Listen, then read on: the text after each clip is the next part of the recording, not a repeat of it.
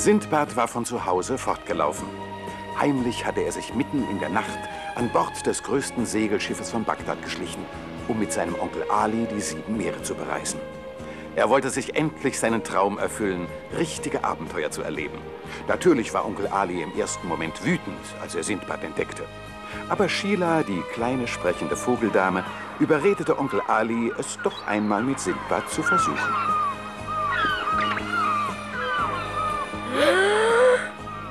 Oh.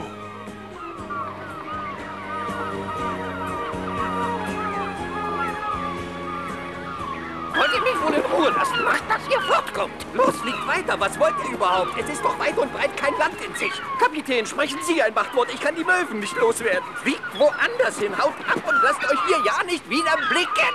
Hm?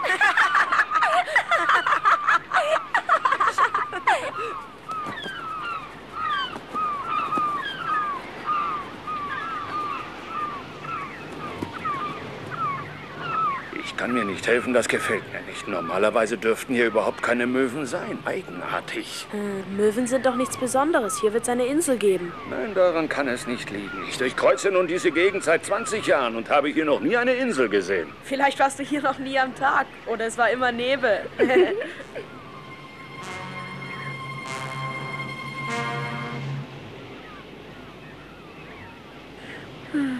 Ach, Sindbad. Es hat keinen Sinn, dass du dir die Augen ausschaust. Hier gibt es weit und breit keine einzige Insel. Natürlich, doch da hinten. Ich sehe eine. da, eine Insel, Onkel Ali. Ach, wenn ihr recht habt, stimmen meine Karten nicht.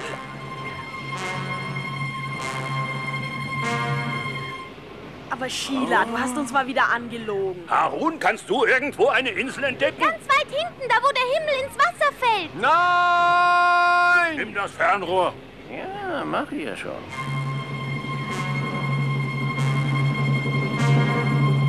Weit und breit kein Land in Sicht. Ist hier ja auch nicht gut möglich. Na, bist du jetzt überzeugt, Sindbad? Dein kleiner Vogel hat dich an der Nase herumgeführt. Kannst du denn nie die Wahrheit sagen, Sheila? Nur weil ich ein Vogel bin, glaubt mir mal wieder kein Mensch auf dem Kahn hier. Ich könnte mir alle Federn einzeln ausreißen vor Wut nicht zum Aushalten. Als Vogel auf einem Schiff ist man der letzte Dreck. Ich will euch was sagen. Mit dem nächsten Schiff fahre ich zurück. Hier kommt so schnell kein Schiff vorbei.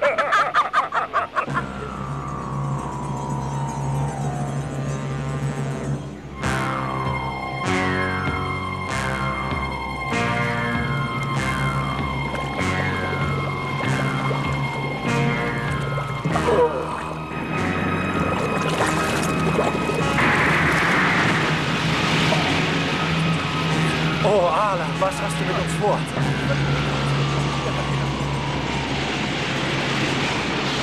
Sheila hatte recht.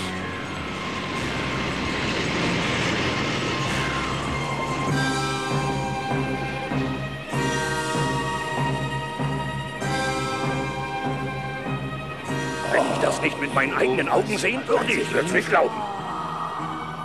Land in Sicht.